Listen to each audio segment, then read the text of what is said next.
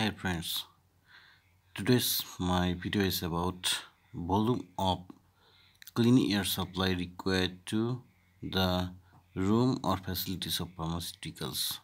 That means how, uh, what about the volume of air supply to facility maintenance. First, calculate the volume of room. Suppose the length of the room L width W and height is then volume of the room is L into W into H cubic feet for example 12 10 and 8 that means if the length of the room is 12 then width is 10 and height of the room is 8 960 cubic feet of the room volume. That means 960 of air cubic feet air is required for a single air change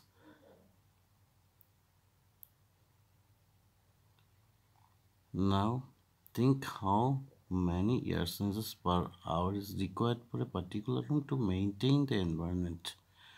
Different guidelines tells about what will be the essences to maintain the clean room standard for different classes. For ISO class 5 standard claims that 240 minimum 240 essences required per hour. That means air volume required per hour is uh, 960 the volume of the room that means one sense and 240 sense that uh, 2 lakh 30,400 cubic feet per hour air is required. Volume of cubic feet is required per hour. If I uh, divide this amount by 60 3 840 CFM, CFM that means cubic feet per minute. Per minute 3840 cubic feet volume is required. Another way I can explain the another way this amount. That means air changes per hour requirement is 240 minimum for ISO class 5 standard room means that means uh, I can divide it with 60 to 40 bucks divided by 60 equal to 4 air changes required per minute 60 minutes equal to 1 hour.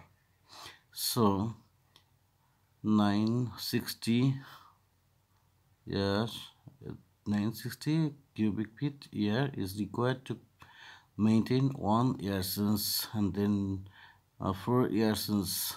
that means uh, 3840 cubic feet per minute required for the room.